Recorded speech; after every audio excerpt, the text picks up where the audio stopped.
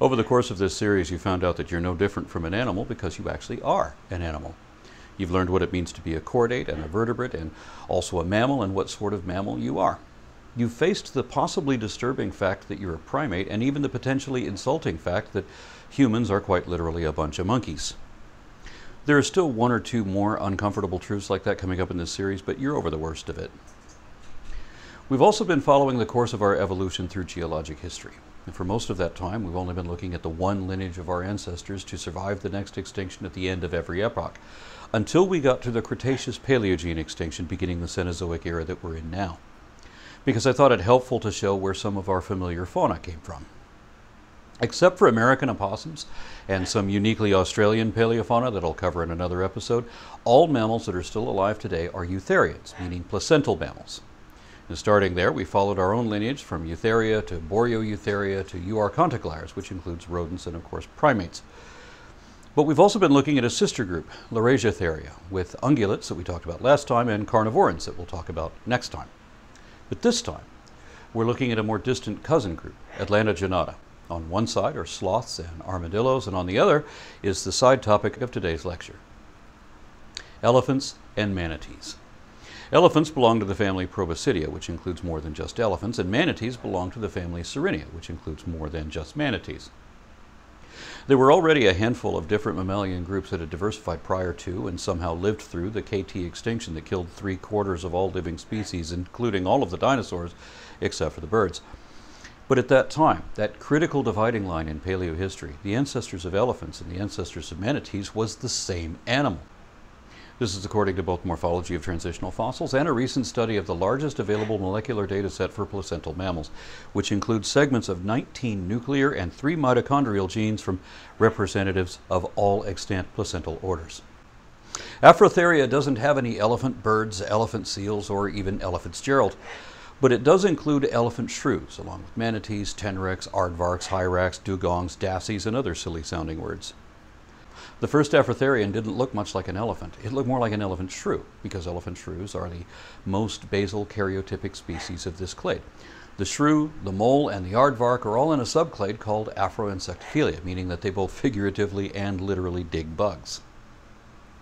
We're looking at the sister clade, Paenungulata. This is the side that has hooves, although the claws of aardvarks are really flattened nails that are intermediate to hooves. The most basal member of Paenungulata that is still alive today are just a few species of Hyrax, which is also intermediate in that it has hoof-like claws. Molecular analysis shows that paenungulates appeared by at least 54 to 60 million years ago in the Paleocene. But the earliest hyracoid fossil we found so far is Dimaitherium from 37 million years ago in the Eocene. The next subset is Tethytheria. This is where they start getting bigger. Besides Proboscidea and Sirenia, there is also an extinct group called Embrithopoda. There are a few species in this group, but they're best represented by Arsinoitherium. This is not a rhino, although it does look superficially rhino-like. Having two horns, it's a bit like its contemporary, Brontotherium.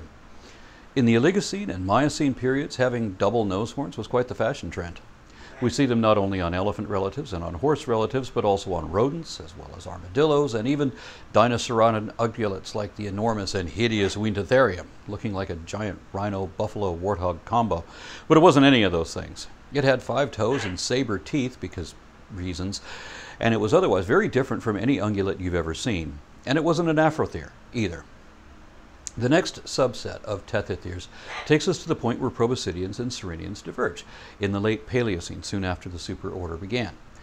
The oldest proboscidean fossils we have are jaw fragments from Phosphatherium roughly 56 million years ago. Likewise, the oldest sirenian fossils we have are those of Pezosiren portelli from 50 million years ago.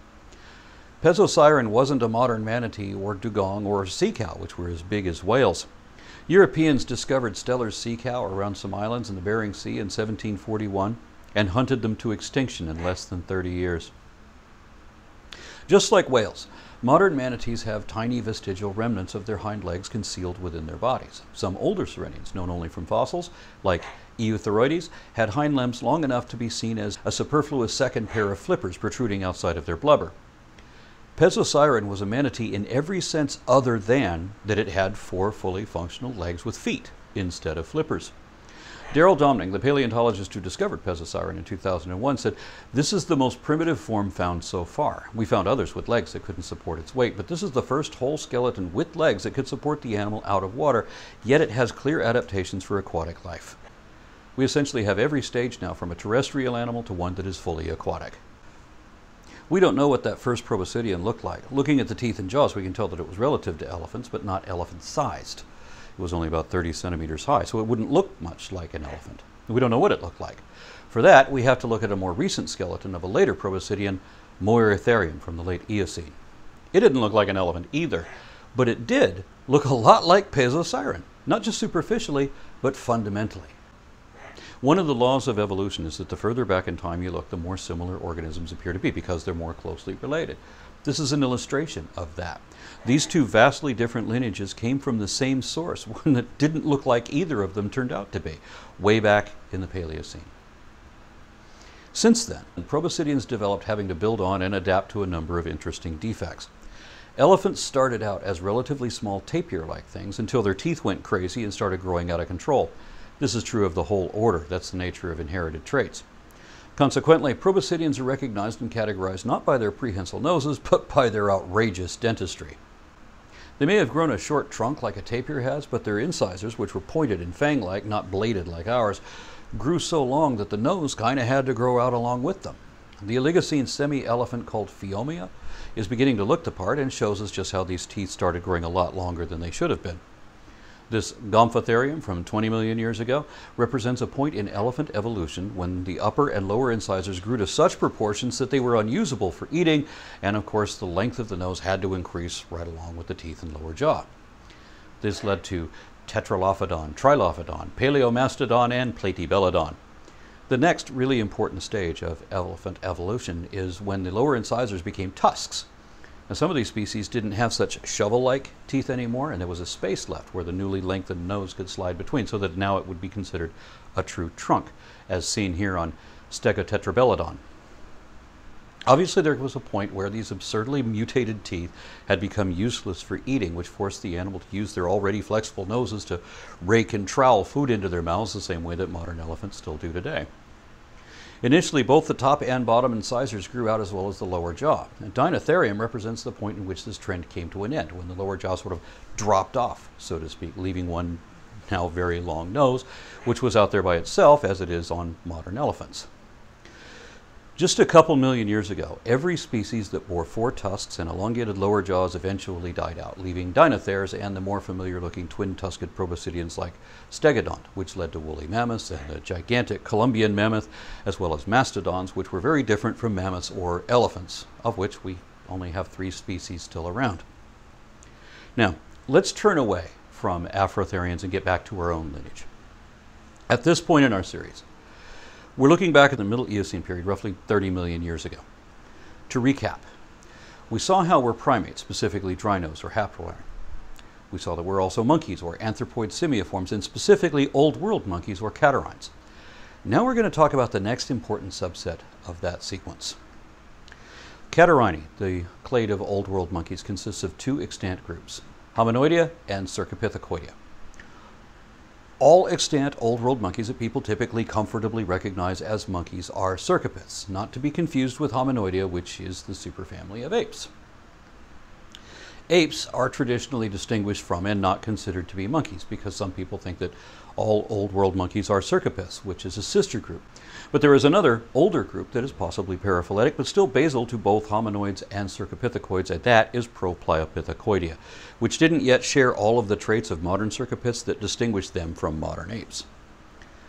The most famous Propliopithecoid species is Aegyptopithecus, which has been described by paleoprimatologists as an ape-like monkey. Its name loosely means an Egyptian link to the apes because it has shared traits with intermediate apes. For example, if we jump up to the Middle Eocene, another 13 million years or so closer to our time, we see Proconsul, a genus of just a handful of species from eastern Africa that have been described by leading paleoprimatologists as a monkey-like ape. Proconsul was tailless. That alone doesn't meet the criteria. There are macaques living in Gibraltar that don't have tails either, They're called Barbary apes, but everyone knows that they're not really apes. They're, there are more requirements to be an ape than just being a monkey with no tail.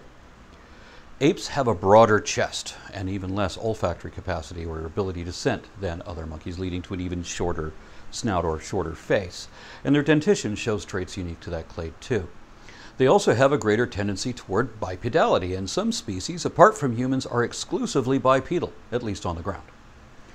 One commonality that they all have, which they all share with most monkeys, are their ears. Nothing else in the animal kingdom has ears like the ones that we share with every other ape and most other monkeys. Another trait that is distinctly ape is that they're all capable of brachiation, hanging or swinging from the arms due to greatly increased occipital arc or shoulder rotation, which other monkeys don't have and can't do or can't do nearly as well. This could be the one trait that proconsul doesn't have because transitional species don't usually adopt every definitive trait at once, as we've seen throughout this series plenty of times already. Like all transitional species, proconsul had a mixture of traits inherited from the parent clade as well as a portion of definitive traits to be passed down to the daughter groups. As such, proconsul rides the line and maybe crosses into the root or crown, the dawn or progenitor of superfamily Hominoidea. And of course, there are a host of other transitional intermediates who take over from there, and we'll talk about those next time. When you think of apes, most people think of the big ones gorillas, chimpanzees, orangutans. But remember that none of those were around 23 million years ago, nor was there yet anything remotely like them. And remember that everything that is big started out small. So when you look back at the dawn of apes, if you want to see a living ape that is karyotypic or representative of what those early apes looked like, take a look at the taxonomic family Hylobatidae, also known as the lesser apes. This is a family of gibbons and siamangs. These are technically apes, but they're much smaller and look more like monkeys. The fossil record of early apes looks a lot more like gibbons than chimpanzees and the like. In fact, some of the early fossil apes look more like monkeys than modern gibbons do because they were still in transition. The word hominoid means humanoid, encompassing humans and other human like categories, which colloquially means apes. We are undeniably part of that group. Monkeys are pretty smart as animals go, but apes are the smartest, having an even larger average brain size to body mass than other monkeys do. Apes are able to understand quite a lot, and our species is the smartest of the apes, so you ought to be able to figure this out. The man who invented taxonomy, Carl Lynn, also known as Carolus Linnaeus, lived a century before Darwin, and he had no idea that new species could evolve. He didn't know that that was even a possibility. So he was quite confused when he compared humans to the other apes. He classified humans as apes and apes as humans because he literally couldn't tell them apart. And he famously issued a challenge to the scientific community of his day, which has still never been met. I demand of you and of the whole world that you show me a generic character, one that is according to the generally accepted principles of classification, by which to distinguish between man and ape. I myself most assuredly know of none. I wish someone would indicate one to me. But if I had called a man an ape or vice versa, I would have fallen under the ban of all ecclesiastics. It may be that as a naturalist, I ought to have done so. And indeed he did. Later on, the whole science of paleontology was discovered, which ultimately aligned with new revelations in genetics to prove that Linnaeus was right, that humans literally are apes. And we own and control this world. So, you know what that makes this? You can either accept it like a rational person, or you can reject it and get outraged and throw an emotional temper tantrum about it, but you'll only prove the point when we see you go ape.